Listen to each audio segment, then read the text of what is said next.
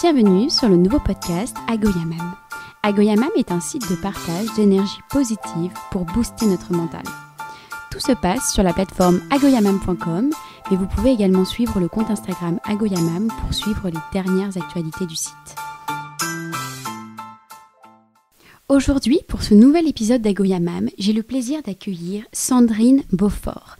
Sandrine est sophrologue, luxothérapeute dans le 16e arrondissement à Paris.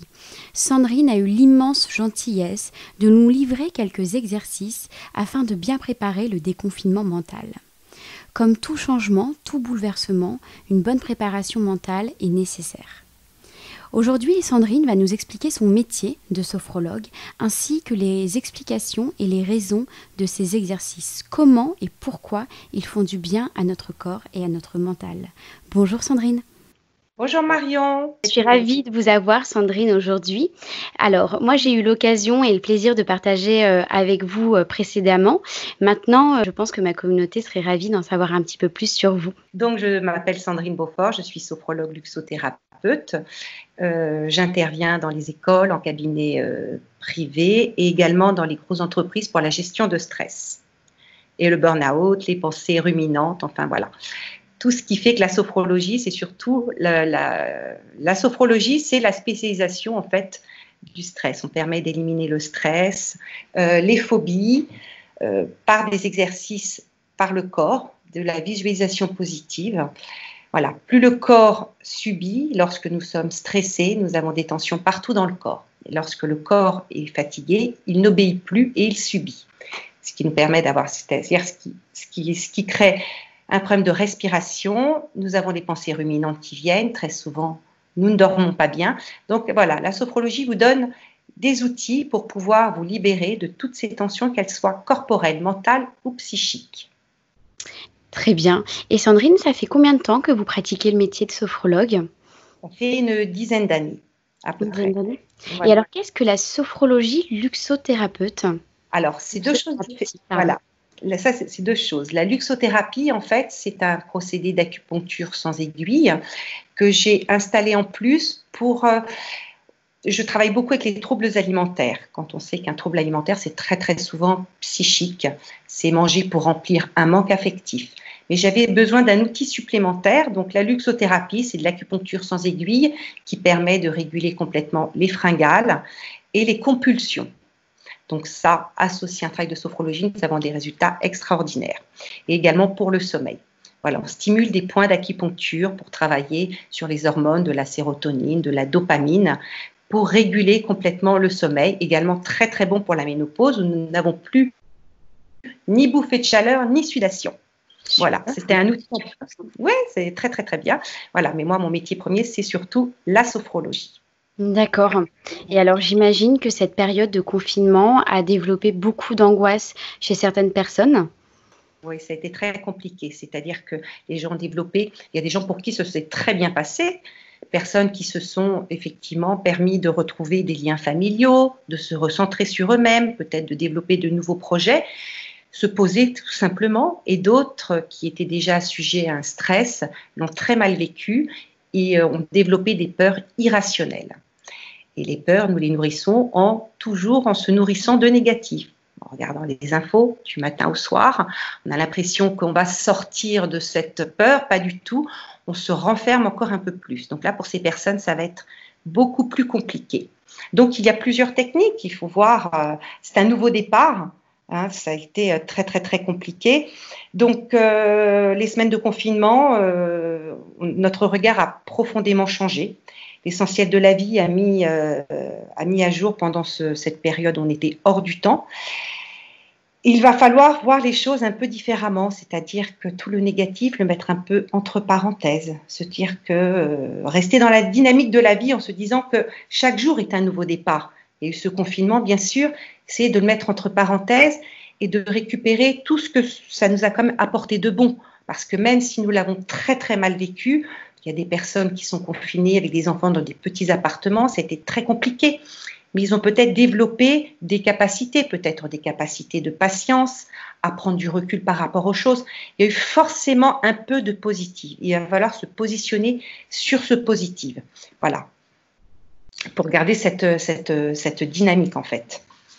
Et alors, vous nous avez livré quelques petits exercices à mettre en place avant le déconfinement, des exercices sur des postures à adopter, sur la respiration. J'imagine qu'il faut les pratiquer régulièrement pour en ressentir euh, pleinement les bienfaits. Complètement. Il y a des petits exercices déjà que, que l'on peut faire. Il y a la visualisation d'un carré. Ça, c'est très important. C'est une respiration qui prend très peu de temps et qui calme tout de suite. C'est-à-dire que lorsqu'on est très stressé, on a la respiration qui devient saccadée, plus régulière. Euh, des personnes aussi qui vont développer des phobies, qui ont des crises d'angoisse, où là on a l'impression d'être en apnée, on n'arrive plus à respirer. Et ça provoque des mouvements de panique, on a même l'impression que le cœur sort de la poitrine, c'est très compliqué. Juste par une respiration, mais simplement les mains sur son ventre, voilà. Alors, les personnes, il y a beaucoup de personnes qui n'arrivent pas à respirer par le ventre ou qui respirent à l'envers. Donc, peut-être de le faire à c'est déjà beaucoup plus facile. On met les mains sur le ventre. à l'inspiration, nous voyons notre ventre gonfler. Donc, les mains sont bien poussées en avant. Nous respirons, par exemple, sur quatre temps. Nous inspirons. 1, 2, 3, 4. Poumon plein, nous gardons la respiration. Nous ne respirons plus. Pareil en quatre temps. On expire comme si nous soufflions dans une paille en quatre temps puis poumon vide en quatre temps. Et nous continuons cet exercice dix fois. La respiration, elle va descendre, elle va devenir plus régulière. C'est une respiration qui calme instantanément. Voilà. Ça nous la. Oui. La respiration, finalement, euh, va avoir un, lien direct avec euh, notre cerveau et va réussir à, calmer les angoisses qu'on pourrait euh, avoir, enfin ressentir. Tout à fait, parce qu'en fait, le cerveau fonctionne de la façon suivante. Il va vous donner une alarme, comme si vous aviez un gyrophare dans le cerveau. C'est lui qui prévient toutes les émotions que nous avons dans une journée. Quand il y a une peur ou une, une angoisse qui arrive, le cerveau va donner l'information au corps tout de suite. Donc nous avons tous nos muscles qui sont en tension et la respiration, elle devient beaucoup plus saccadée. Si nous n'écoutons pas notre corps, le cerveau va être beaucoup moins oxygéné parce que la respiration ne va pas bien se faire. Donc il suffit simplement de descendre cette respiration et le cerveau va comprendre le message que vous lui envoyez. Il va se dire, OK, vous prenez soin de vous, vous avez compris qu'il va falloir prendre soin de votre corps par la respiration. Et là, le gyrophare va s'éteindre. Vous allez retrouver une respiration plus calme. En fait, il y a des, nous avons découvert dans le cerveau, nous disons que le ventre, c'est le deuxième cerveau. Pour moi, c'est même le premier. Parce que vous avez plus d'interaction de, interneuronale au niveau du ventre que du cerveau. Et les deux sont liés. Donc, si votre respiration n'est pas abdominale, votre cerveau n'est pas bien oxygéné, ce qui va vous donner beaucoup de pensées ruminantes. Il y a des gens qui me disent Je n'arrive pas à me poser. On a plein d'idées dans la tête, alors pas forcément ruminantes, mais ou parasitaires, où le cerveau tourne sans cesse, sans cesse. Donc, le soir, vous ne dormez pas bien parce que votre cerveau n'est jamais au repos. Donc rien qu'avec des respirations euh, abdominales, vous oxygénez votre cerveau et vous lui donnez des espaces beaucoup plus disponibles. C'est un petit peu comme si euh, vous aviez un ordinateur qui reçoit trop d'informations, vous les videz dans la corbeille. Le cerveau, c'est exactement la même chose. Alors là, je peux peut-être donner un exercice qui est important que les gens peuvent faire quand elles ont des pensées ruminantes qu'on peut faire à n'importe quel moment de la journée, et notamment le soir quand on a du mal à s'endormir. C'est tout simple, on met nos mains au niveau de notre front, on inspire, on bloque la respiration, on va faire des grimaces très très très prononcées au niveau du visage. Voyez, on, tend le visage des, des, grimaces très prononcées et quand on a besoin d'expirer, on souffle, on expulse au loin. On le fait trois fois, ce qui va provoquer une hypertension artérielle et libérer votre cerveau. Alors, ça va, on va sentir des bourdonnements, peut-être certaines personnes des vertiges, parce qu'elles n'ont pas l'habitude d'avoir le cerveau oxygéné. Ça, on le fait. Dès que vous avez des, pensées ruminantes, vous le faites plusieurs fois et vous sentez votre cerveau tout de suite qui lâche. Voyez, ça, on peut le faire au moment aussi de s'endormir. Vous le faites trois fois, puis vous respirez, faites cette petite respiration du carré, mais là, vous allongez. C'est-à-dire que le faire en quatre temps, vous le faites en six temps, voire en huit temps pour que la respiration, parce que quand on est allongé dans un lit, en fait, la respiration, elle descend toujours d'un cran.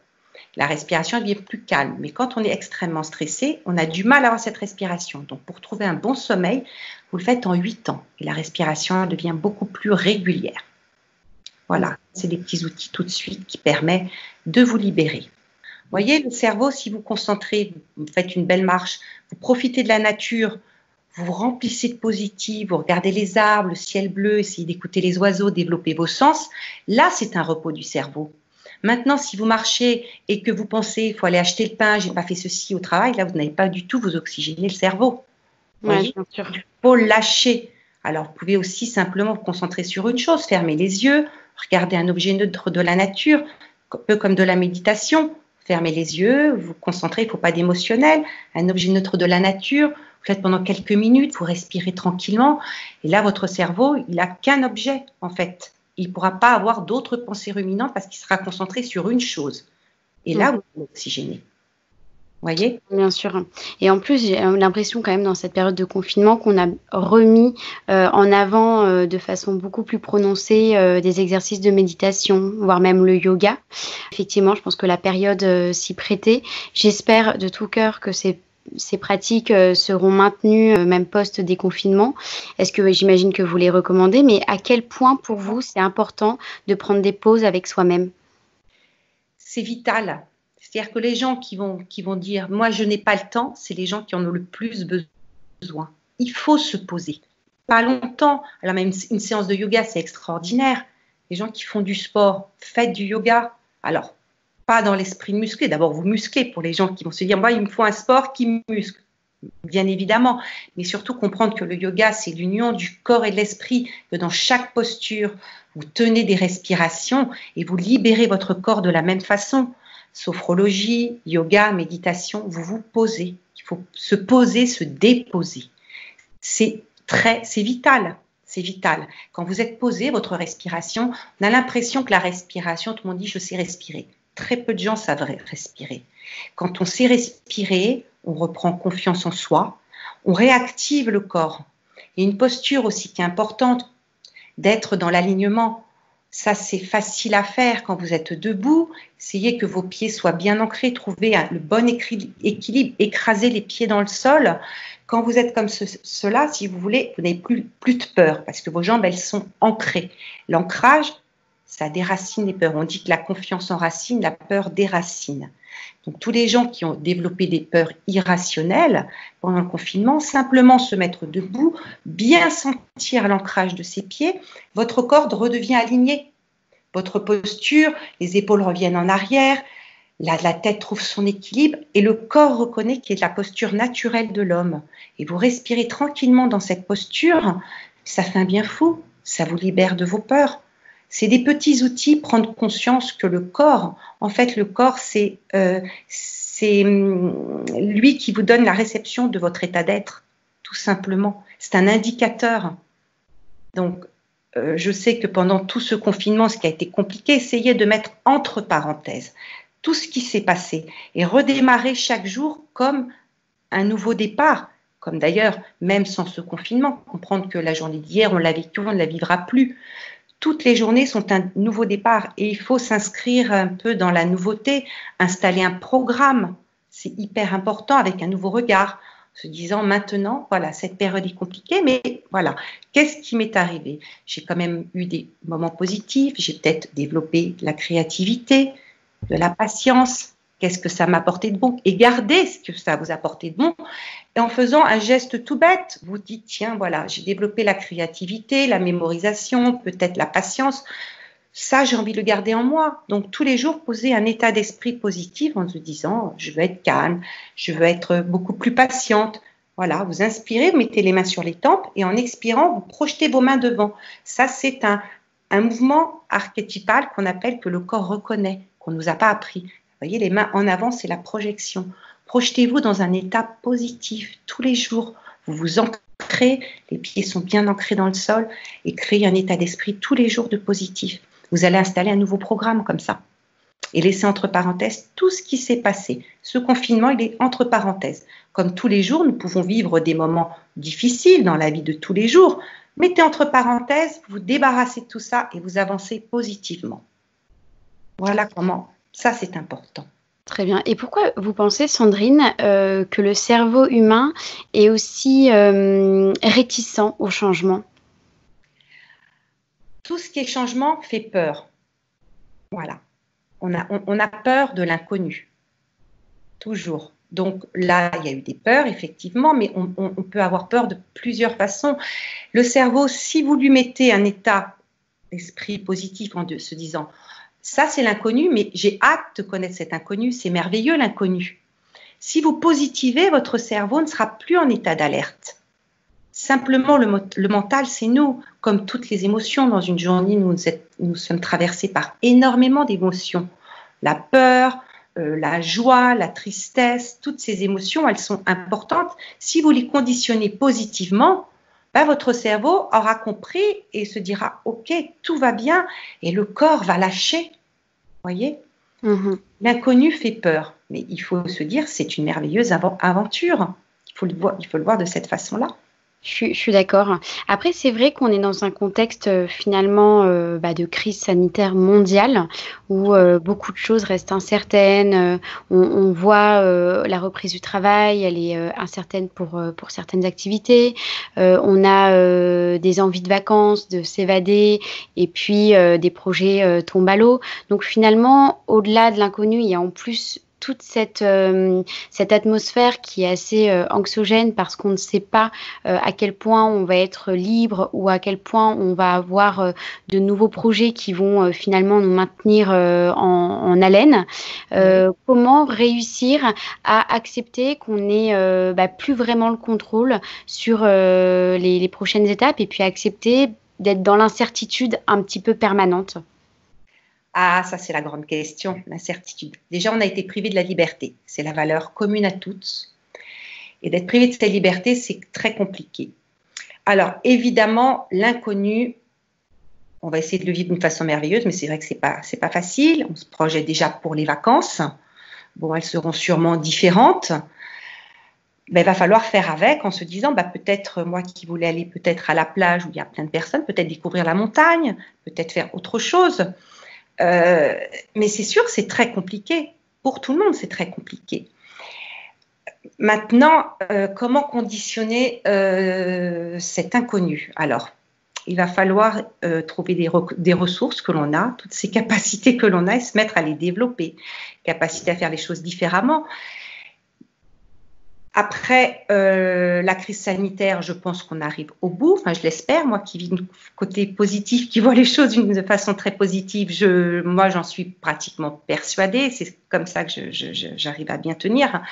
Alors, la crise sociale, c'est certain que ça va être différent, mais peut-être qu'on va travailler différemment. Ça va être, c'est un peu l'inconnu, mais essayons de se dire, bah, va falloir euh, faire les choses différemment et de se conditionner d'une façon toujours positive. Parce que sinon, si on a peur de tout, on va rester dans des peurs. Il faut se libérer des peurs. Bien évidemment, on ne sait pas où on va, personne. Mais on va essayer de, de, vivre d'une façon plus positive, toujours. Et est-ce que euh, finalement, ce ne serait pas une opportunité pour vivre un peu plus dans l'instant, moins dans la projection permanente, d'avoir un peu moins une vie euh, planifiée dans les prochaines semaines, dans les prochains mois? En tout cas, moi, j'ai, euh, c'est un peu l'impression que j'ai eue personnellement.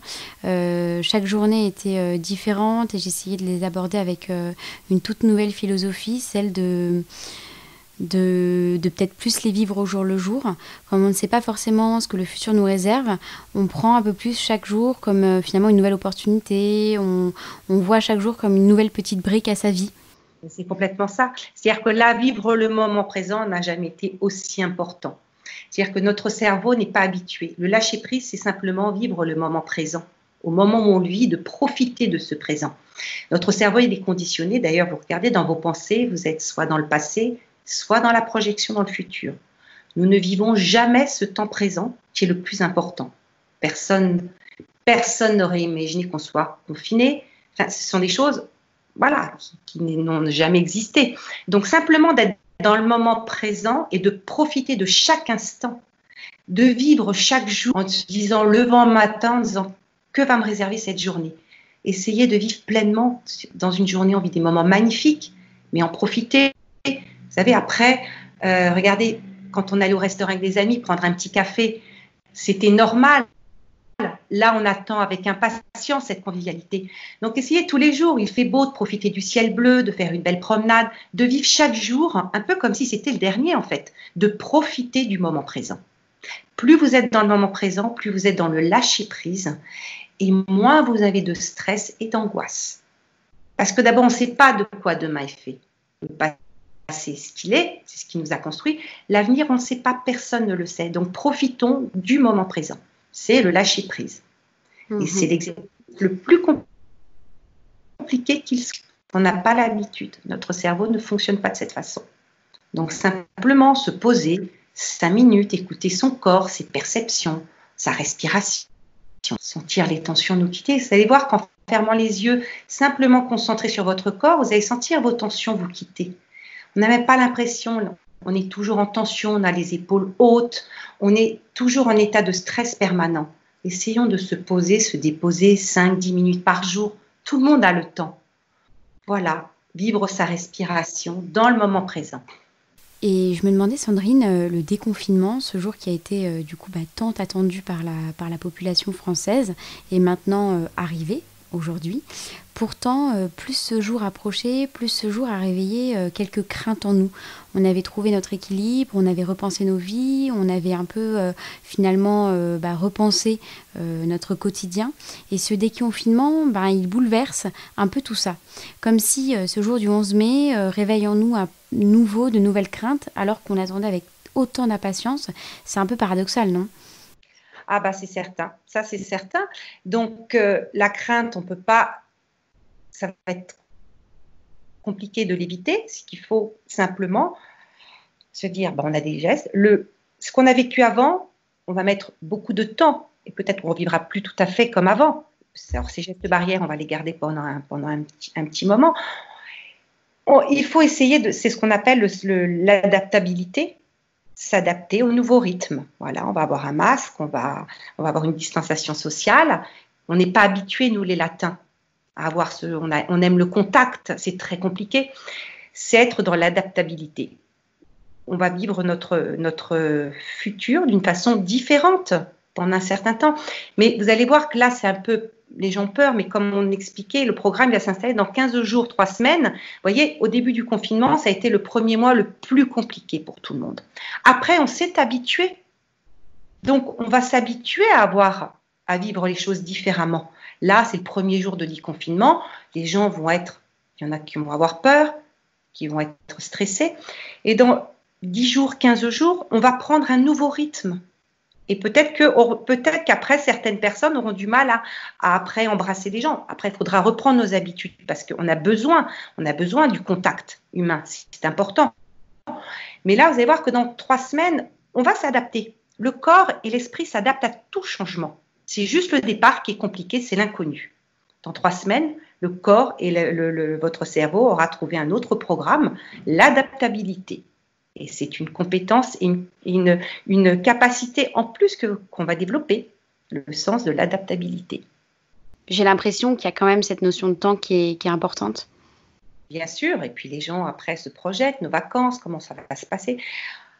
Vivons le moment présent. Peut-être que dans 15 jours, le virus aura disparu. On ne sait pas. Personne ne sait. Donc, vivons le moment présent en essayant de profiter de chaque belle journée comme une nouvelle expérience. Mhm. C'est ce qu'il faut faire. C'est ce qu'il faut faire. Très bien.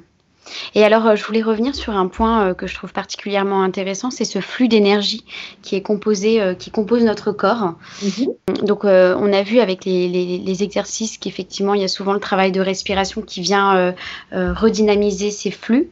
Est-ce mhm. que vous pourriez nous expliquer comment véritablement on pourrait expliquer ce flux à l'intérieur de notre corps? Bah, En fait, l'énergie, c'est vous l'avez dans votre respiration.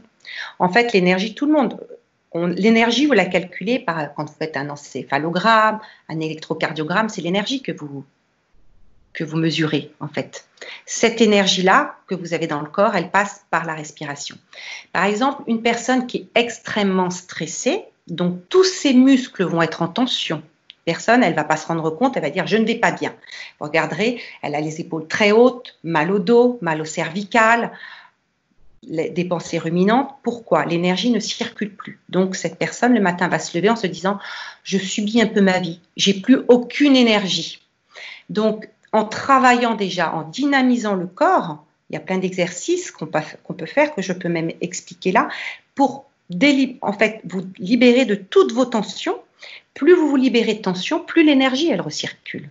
C'est simplement ça. C'est des nœuds de tension que vous avez partout dans le corps qui empêchent toute cette énergie de circuler. L'énergie, vous la récupérez avec la respiration, notamment quand on fait du, du, yoga, il y a la respiration du prana, où on a une énergie après incroyable. Tout est basé sur la respiration et sur l'activation du corps. Si votre corps, vous libérez des tensions, le cerveau a compris que vous avez un problème, que vous n'allez pas bien et que vous prenez conscience de ce corps que vous avez. Et en libérant les tensions, eh bien forcément, vous allez libérer de l'énergie.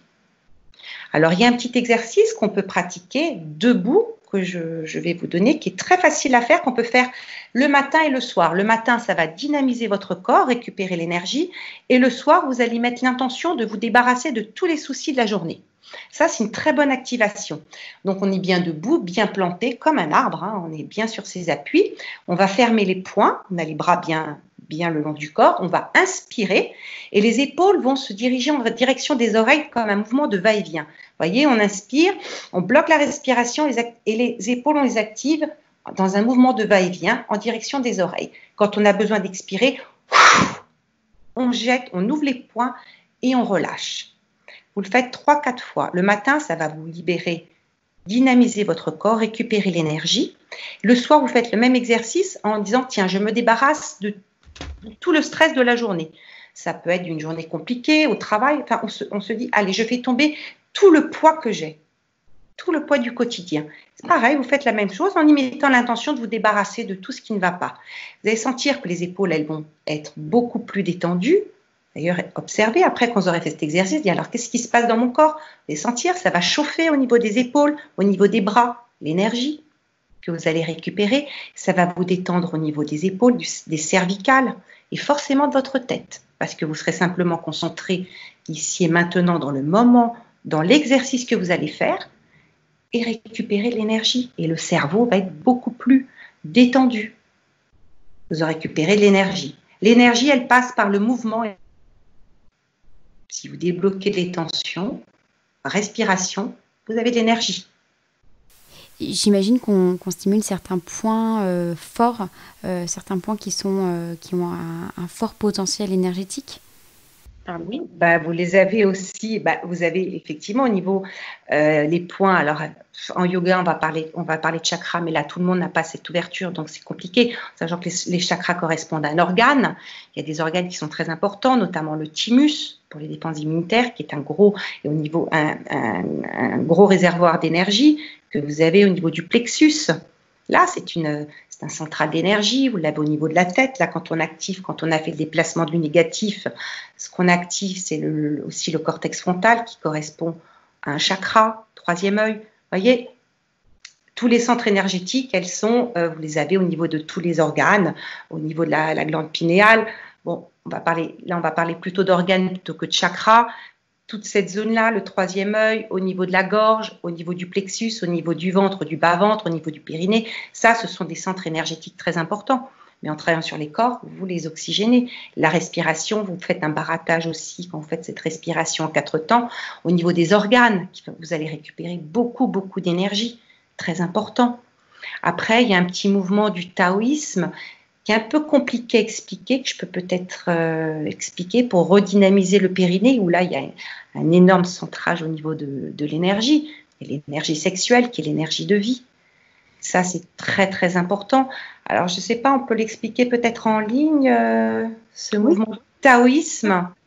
Alors ça, c'est un mouvement qu'on pratique sur le bord d'une chaise. On va être complètement en activation de son périnée pour que la respiration soit la plus basse. Donc, on va travailler sur le périnée. Il y a un mouvement qu'on va faire qui va permettre non seulement de déstocker les peines, les chagrins que l'on a, et également éliminer l'eau, parce qu'on sait que le point d'appui quand on a de la peine, le chagrin, c'est au niveau des poumons.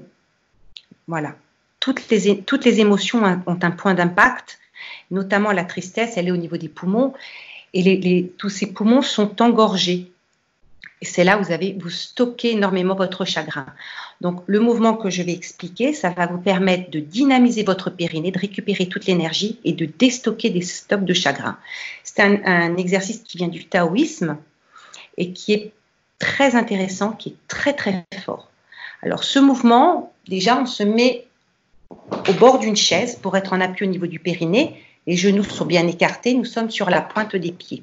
On va se prendre dans les bras. Pourquoi? Parce que déjà, c'est un mouvement qui fait du bien, qui réconforte, et c'est un mouvement que le corps reconnaît. C'est un mouvement qu'on n'a pas appris de se prendre dans les bras. C'est instinctif. C'est dans la mémoire de notre corps. Donc on se prend dans les bras, on inspire vraiment par le bas-ventre, on inspire bien. On bloque la respiration. Alors très important, la tête ne bouge pas. Vous fixez un point devant vous. On va se tourner d'un côté en rétention poumon plein pour garder, en fait, pour, pour rétention poumon plein. Pourquoi? Parce qu'on va garder la respiration, ce qui va protéger également nos lombaires. Donc on inspire, on bloque la respiration, on tourne vers la droite. La tête reste bien droite. Nous revenons au centre. Le menton touche la thyroïde, écrase la thyroïde et nous expirons en direction du bas-ventre. Nous faisons une fois à droite, une fois à gauche. Pourquoi? Lorsque vous tournez le mouvement, vous allez sentir la respiration complètement sur tout le côté que vous venez de travailler, va remplir votre respiration et va permettre de déstocker tout le stock de chagrin que vous avez au niveau de votre en plus, vous avez travaillé, comme vous êtes sur le périnée, l'énergie de vie, l'énergie sexuelle vous avez dans le, dans le bas-ventre, que vous avez libéré. Pourquoi on écrase le menton, vient écraser la, la glande thyroïde Parce que vous allez ouvrir votre colonne d'air. Vous voyez, ça, c'est un mouvement qui est extrêmement puissant qu'on va faire cinq fois. Comme dose homéopathique, on peut le faire matin, midi, soir. Essayez de le faire tous les jours. C'est un mouvement qui est extrêmement puissant. Moi, je l'ai fait lors de mes lives. Les gens m'ont renvoyé des messages incroyables. Comme quoi, ils ont senti une énergie, de la chaleur. Il y en a qui ont transpiré. Parce qu'évidemment, vous déstockez l'eau en même temps. Et le, fait de tourner, vous créez un barattage au niveau de vos organes. Vous oxygénez, vous ouvrez votre colonne d'air. Vous travaillez sur le périnée, vous récupérez votre énergie sexuelle et vous déstockez votre corps de tout le chagrin cumulé. C'est très puissant. Ça prend cinq minutes et ça fait un bien fou. Je vais peut-être le réexpliquer une dernière fois, peut-être que les gens comprennent bien. Oui, bien sûr. Sur le rebord d'une chaise, les genoux bien écartés, donc le dos est bien droit, forcément, on appuie sur les orteils, on se prend dans les bras. On inspire par le bas-ventre. La tête reste droite. C'est très important, ne tourne pas la tête. On fixe un point devant nous. Rétention poumon plein on se tourne d'un côté. Essayez d'aller le plus loin possible, mais le mouvement, il reste doux et profond, hein, parce qu'on élimine la tristesse. On est dans la bienveillance. On tourne d'un côté. Rétention toujours, on garde l'air dans nos poumons. On revient au centre, le menton touche la thyroïde et nous expulsons en direction du bas-ventre. Puis notre tête revient droite et nous faisons la même chose de l'autre côté. Faites-le cinq fois.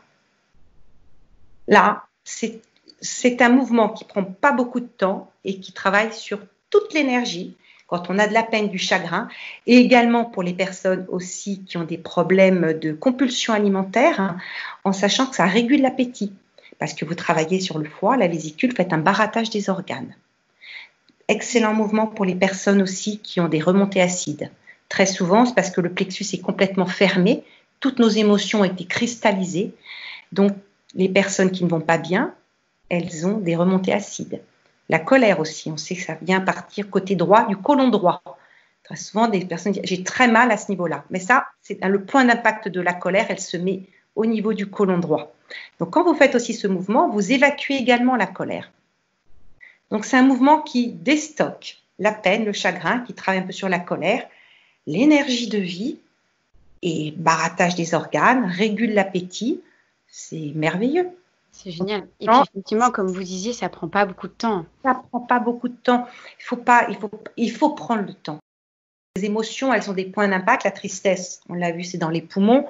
La colère, elle est au niveau euh, du côlon droit. Euh, la peur, elle est dans le bas-ventre. D'ailleurs, vous voyez, par exemple, quand on doit vous annoncer une mauvaise nouvelle, on vous dit asseyez-vous. Parce que la peur coupe les jambes. Quand vous faites un burn-out, c'est-à-dire que vous avez votre tête, votre esprit, vous n'arrivez plus à avancer. Les jambes, c'est la projection. On avance avec nos jambes comme on avance dans notre vie. Donc, les peurs, elles sont là. La joie, elle est au niveau du cœur, mais enfin, voilà. C'est les points d'impact des émotions. Après, les tensions dans le corps, là, pourquoi? Notre posture a changé. Il y a une vingtaine d'années, quand il n'y avait pas encore les ordinateurs, les portables, on n'avait pas ces problèmes de cervicales. On a les épaules montées, avec le téléphone, on est très mal installé devant notre écran. Ce qui se passe, le corps ne reconnaît plus sa posture. Nous, l'Homo sapiens, est fait pour être droit.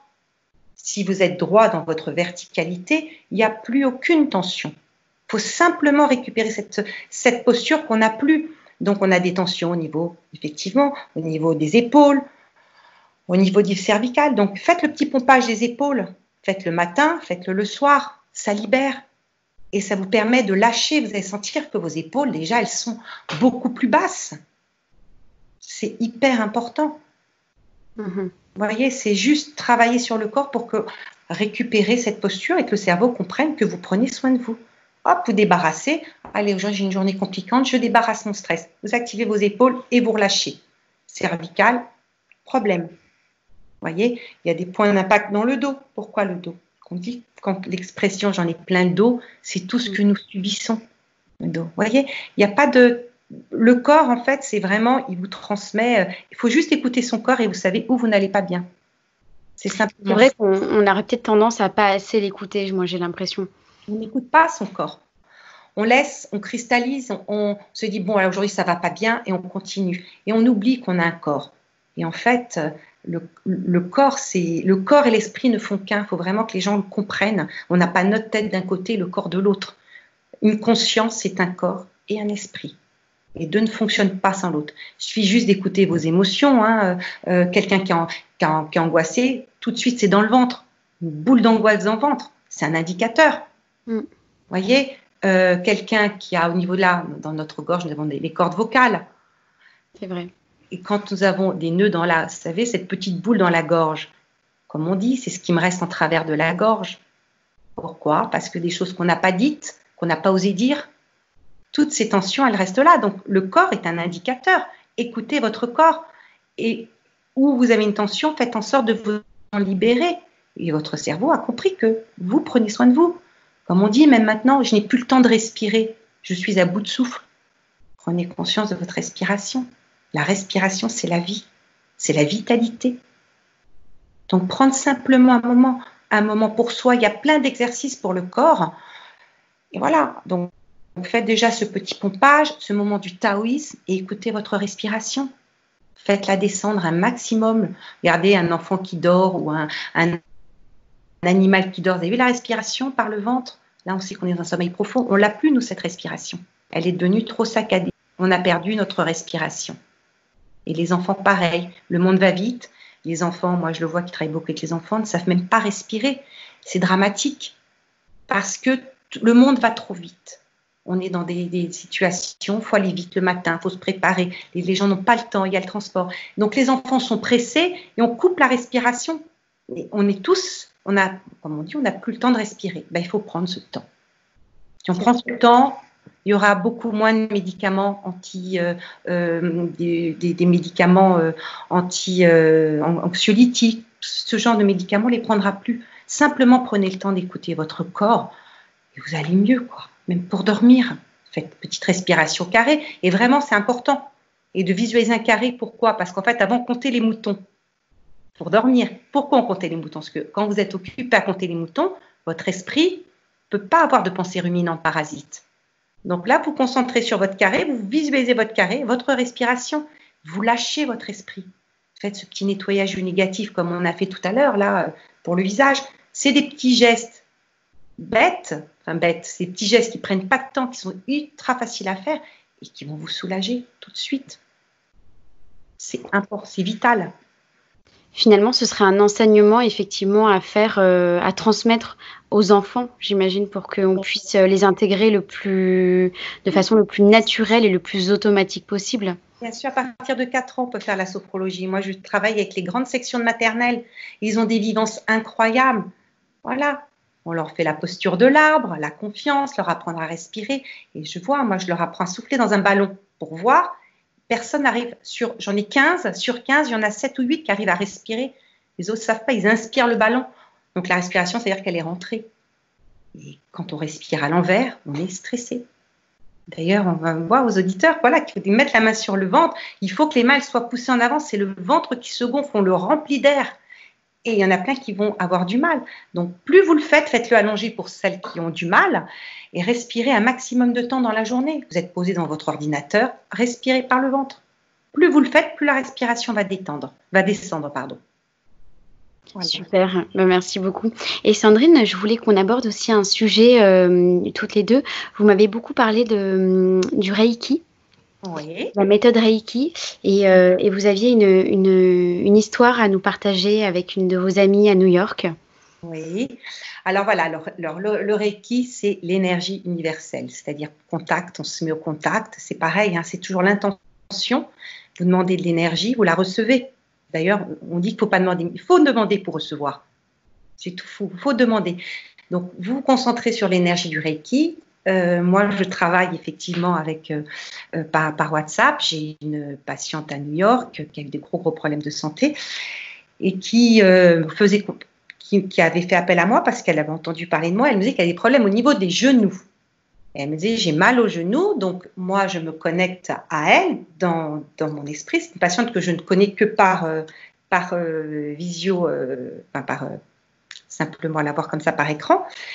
Et puis je me connecte à elle et puis mes mains elles vont, elles vont sur son dos. Et dis après c'est marrant, je travaille un peu les genoux, mais j'ai senti énormément de chaleur sur votre dos. Et c'est une personne qui faisait la radiothérapie qui avait été brûlée.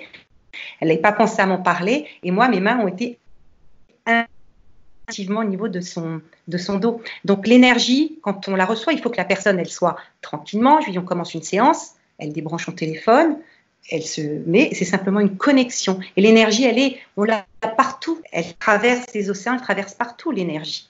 C'est assez stupéfiant avec des symboles qu'on travaille en, en Reiki. On arrive à travailler à distance avec des résultats extraordinaires. Et l'énergie, c'est... Hmm? Et alors, qu'est-ce que le Reiki exactement? Alors, le Reiki, ça a, été, ça a été inventé par un maître Usui, il y a une millier d'années en fait. Et en fait, euh, il travaillait comme ça, simplement en, posant ses mains sur des patients. Et ça a fait le tour, c'était au Japon, ça a fait un petit peu le, le tour du monde et c'est devenu maintenant une discipline. C'est de l'énergie. Alors, moi, je travaille aussi à mon cabinet où je fais simplement une position des mains après avec des symboles, c'est ressentir l'énergie. Voilà, donc l'énergie, quand on vit au cabinet, c'est pareil, on met ses, mains au niveau de tous les chakras, donc de tous les organes qui sont des récepteurs d'énergie. C'est un appositionnement des mains, ce n'est pas mon énergie, ce, ne sont pas des soins énergétiques, on, on utilise son énergie, c'est l'énergie, l'énergie universelle. C'est ça le Reiki on appelle, et vous allez voir, même là, si vous vous appelez, vous concentrez, vous demandez, vous mettez vos mains au plafond, par exemple, vous demandez l'énergie, vous allez voir, vos mains vont chauffer. L'intention. L'intention, c'est tout. Voilà. Et vous connectez à la personne. On peut aller très loin, on peut se connecter avec l'enfant intérieur. il y a plein de choses qui se passent. Mais la position des mains, vous la mettez, et en fait, c'est travailler sur tous les, tous les chakras, sur tous les organes qui sont des récepteurs de l'énergie, vous travaillez et puis donc ça travaille le bien-être, les émotions. C'est formidable. Mais c'est très complexe, il faut y croire, il faut être, voilà, l'élargissement de la conscience, mais juste prendre conscience de l'intention. D'ailleurs, pour que toutes les intentions rentrent dans un cerveau, le cerveau notamment reptilien, si vous mettez une intention, un geste, une respiration, l'information, elle reste à vie. C'est tout.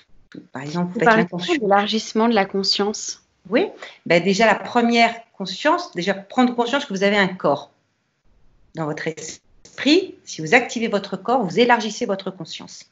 Après, il y a des exercices, on passe dans le futur, on va dans le passé avec la sophrologie, on fait des questionnements à sa conscience en faisant par exemple de très beaux voyages où je vous amène à parler avec quelqu'un, c'est juste vous et votre conscience. Laissez émerger cette petite voix intérieure, apprendre à se faire confiance. On travaille sur les valeurs, toutes ces choses-là. C'est juste l'intention de se mettre au contact d'une valeur, de ce que vous voulez, avec un geste, une respiration, l'information, vous l'avez. Donc, quand vous êtes confronté dans la vie, par exemple, une personne, on va dire, par exemple, va travailler sur les valeurs. La valeur première, c'est le travail. Et elle va se faire dénigrer dans son travail. Cette personne, elle va exploser. Elle va faire un burn-out. Pourquoi? Parce que sa valeur première a été, a été saccagée. D'autres, c'est la valeur amour, d'autres, la valeur famille. Chacun ses valeurs. Il y en a, c'est la valeur argent. Vous voyez, par exemple, aux États-Unis, parler à un Américain, il y a eu des neurosciences qui avaient fait cet exercice. La valeur argent, pour un Américain, c'est une valeur extrêmement importante. Voilà, s'il n'a plus d'argent, il a pu savoir comment exister parce que chacun a ses propres valeurs. Et puis les valeurs, elles changent la journée. Mais quand on se met au contact d'une valeur euh, avec tout son contenu personnel, tout ce qu'on veut, avec une respiration, un geste, cette valeur, vous la gardez au fond de vous-même et c'est être en accord avec vous-même. Vous voyez? Mm. Mettez une intention et c'est comme ça que vous arrivez à faire du développement personnel, à être en accord avec vous-même. Et, tout ça élargit. Vous parlez de neurosciences, il y a eu des résultats qui ont été prouvés euh, alors, les neurosciences ont fait plein d'actifs. Par exemple, ils ont fait. Euh, euh, par exemple, moi j'ai fait un stage en ludique. donc, c'est ludique, c'est par jeu. C'est la sophrologie par jeu. D'accord? Et j'ai eu, j'ai fait un séminaire où il y avait donc des neurosciences. ils ont fait venir des Tibétains. C'est assez drôle parce que dans la sophrologie aussi, on travaille aussi sur la contemplation, sur le bouddhisme. Et on travaille sur l'essence. Ils ont fait venir des Tibétains, c'était assez drôle, en leur demandant, ce qui est drôle, vous mangez toujours la même chose. Et eux ne comprenaient pas la question. Je dis, ben non, moi ce que j'ai mangé hier, je l'ai mangé, je l'ai digéré. J'ai toujours du riz avec du thé. Et en fait, comprenaient pas la question. Pourquoi? Parce qu'en fait, à chaque fois qu'ils mangeaient, ils ont tellement, ils sont dans la contemplation, ils ont tellement leur sens exacerbé qu'à chaque fois, ça avait une odeur et un goût différent c'est pas la même chose. Donc les neurosciences, voilà, c'est des expériences qui ont été faites en se disant l'importance du goût, l'importance de la du lâcher prise, comme si on voyait les choses. Eux, ils voient les choses toujours avec un nouveau regard. ils peuvent manger tous les jours un bol de riz et boire du thé, ça aura toujours une saveur différente. Vous voyez? Parce qu'ils ont une conscience extrêmement large. C'est ça travailler sur l'essence, sur la contemplation, voir, les choses comme si c'était la première fois. Comme le confinement, c'est pareil. Voyons les choses avec un nouveau regard. Comme si, et là, c'est effectivement la première fois.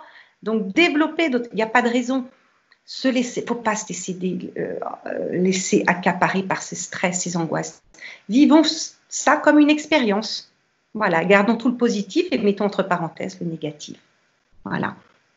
Il y, a, plein de choses, voilà, le corps, voilà, oui, les neurosciences ont travaillé parce que c'est, enfin, la sophrologie, c'est reconnu, c'est pas une, thérapie, c'est, euh, mais on, a, on, constate tous les bienfaits, que ce soit de la sophrologie ou du yoga, voilà, ou de la méditation.